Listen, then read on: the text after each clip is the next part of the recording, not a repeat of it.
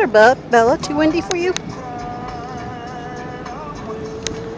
Not too windy for Thor.